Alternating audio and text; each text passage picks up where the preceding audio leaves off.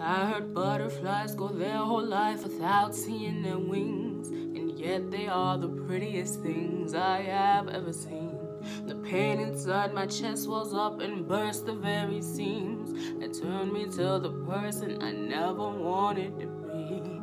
Oh, I'm a mess. I crave the love a mother gives a child still on her breast.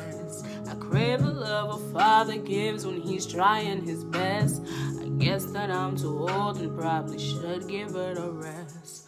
What can I say? I guess I still have my imagination. Imagination. If I die today, please kill the whole damn congregation. Congregation. Nobody was there.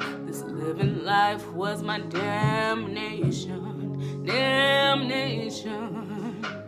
The afterlife would probably be a fucking vacation. Vacation. What can I say? How could I tell you that you ruined me when you don't even care? I'd probably tell you today before this bullet